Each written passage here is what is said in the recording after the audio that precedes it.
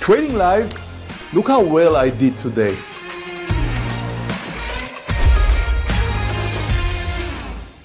Hi traders, thank you for joining. I want to share my trading day with you. The first one today was Mara. It's a recap of my trading session today and Mara as you can see started down 5%. Now when the stock is starting down 5% you expect a gap and go and I'm about to short this one because it's failing right here. It's the second one minute candle now it's the third one minute candle and I just shorted 4,000 shares. Now I'm looking for a breakdown under the lows and of course a continuation because when you have a gap and go you expect it to fail. Look at this beautiful breakdown under the lows here. It's not enough. I was looking uh, to see it right under 28. It touched the point. You can see the lows here but now I'm looking for a continuation.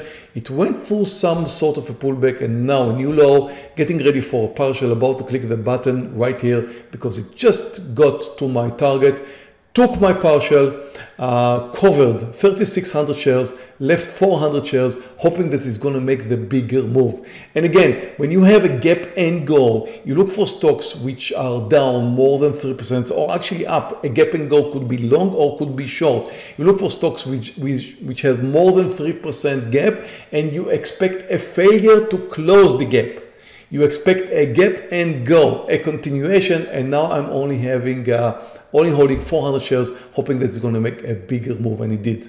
And traders, if you like this video so far, if you like my Mara trade, we will appreciate if you can give us a thumb up. It will help our channel, it will help people like you watch more trading videos, and hopefully this is educational and helpful for you too.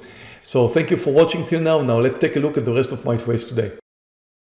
My next trade was my best trade and that's Netflix. Now, you know, pre-market time, I am watching Netflix because again, I noticed that Netflix is getting up 13% pre-market time. Now I'm about to go long right over here because it's proving to me that it wants to move higher. In fact, I'm taking a big risk here, getting going long 6,000 shares. Just click the button, I'm long. Now, it's the same idea. It's the same gap and go idea. And in fact, if it moves over the highs, I'm going to add 2000 shares more and it is getting close there.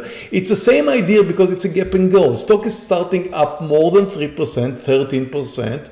About to add right now, it's moving over the highs, 8,000 shares. And again, adding smaller size than my initial size. It's a fast forward now. So it just moved over the highs and you can see how beautiful it looks. I'm already up 30, $40,000. Look at that. First sign of a pullback, about to take my partial and taking my partial here over $30,000 and that just happened in a few minutes like three minutes fast forward of course now it's the same idea it's a gap and go idea the bigger the gap, the more likely it is to work out fine. Like Mara was down 5% and I expected it to gap and go, meaning crash down. It worked out nicely. But 13%, a gap and go in a well-known company like Netflix, I mean, everybody's watching Netflix, right?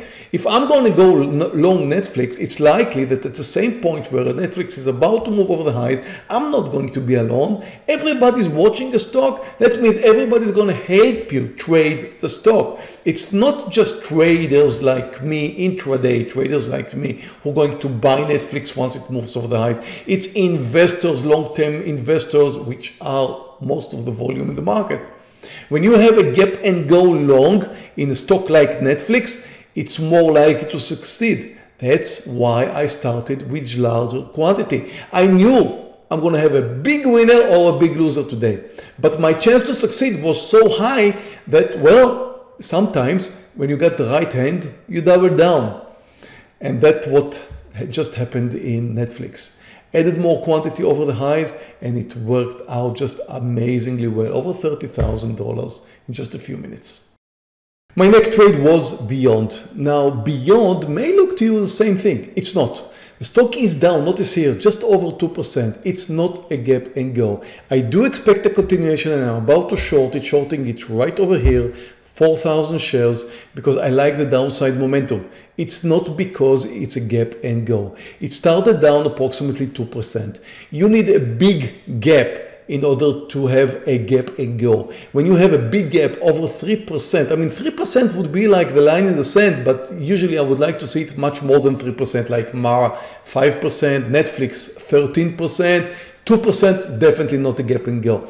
Now, when I click that button over here, I noticed the fact that it initially tried to move higher, failed, tried to move higher again for the second time, failed, came down with a very nice downside momentum, which I thought should continue. The stock is proving to me that it wants to come down. I mean, it did come down several times or tried to move higher several times and failed. Now, if it's about to come down once more, in fact, I'm going to add a little bit more because it will be proving to me that it wants to continue. Again, add to a winner. It's about to come down under the lows, under 138, and I just added another 2,000 shares. So now I'm short 6,000 shares and hoping that it's going to continue. Of course, a very fast forward right now and uh, I was really waiting for it to just continue with the trend. And again, what I liked about it was the fact that it failed to move higher several times and the fact that it came down with a nice downside momentum. At the point where I shorted it, I was hoping that it's going to break down, crash down real fast. It did not. But then I only have the trend and the trend is on my side. The stock is trending lower. Look at this beautiful breakdown right over here. I'm about to take that partial over here covering 5,600 shares, kicking the button right now and took a fantastic uh, profit in uh, Beyond. So I trusted the fact that it failed to move higher several times. I trusted the downside momentum, which I saw right over there. And I added when Beyond assured me that it wants to come down under the lows. And again, you add to a winner. You do not add to a loser. You don't average down your loss. So Beyond came down. That was a clear formation for a nice continuation. Has nothing to do with gap and goes. So it's a little bit uh, different. It's a different system, in fact. Next trade, Baba. Baba is up more than 5%, actually more than 6% right now. It's at the highs and I'm about to go long. Why? Because it's supposed to be a gap and go long. We already learned that, right? okay, so I just went long 4,000 shares and I'm expecting Baba to move over the highs. It's holding near the highs. It's a big gap up. Also a stock that a lot of people are watching and hopefully it's going to move over the highs. So far looking very well.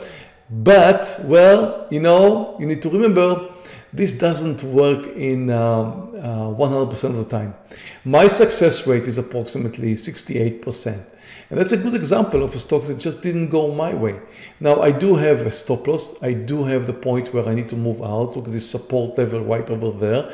And Baba is really getting there right now. And I'm about to move out $11,000 out. It was a big loss. You know, I have a, a stop, a planned stop, and it did reach that stop and I have to use that stop in order to move out. I can't just hope that it's going to move over the highs. You know, Baba is strong. It's likely to move today over the highs, but I gotta have a stop loss somewhere. And in fact, I let it move a little bit more than I expected it really to move down. Anyway, can't make them all, can't succeed in all of my trades. And sometimes things just doesn't go my way. Well, traders, just uh, 45 minutes into the trading session and I'm up $32,000 in Netflix. I do have some more winners and losers, so the end result is $23,000, which is more, much more than I lost yesterday because I had a red day yesterday, approximately $14,000 down. Trading is not easy as you may think. I mean, uh, $23,000, right, but yesterday I lost 14. Well, my average week is one and a half losing days. So my average is fine, three and a half winning days. But we do have some bad days. We do have some great days like this one. And the end result is usually okay. Now you can see that uh, Mara continue to come down here. Look at Beyond, which continues to uh, move lower. And I do have some more shares riding on both of them. So hopefully it's going to be a little bit better than that. Well traders, if you did like my video and you want to see more videos, you can subscribe to my channel. It's right here below. And if you want to be notified of future uploads, there's a notification bell which you can set on. And if you do like to trade with us uh, or join my trading room or my courses, there's several free links right here uh, in the links below. And uh, again, we will appreciate if you give us a thumb up for this video if you liked it. Thank you for watching. I'll see you tomorrow.